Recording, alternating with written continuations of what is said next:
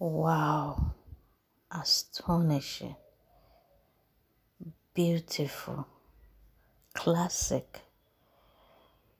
This woman is a very, very, very good designer. Wow.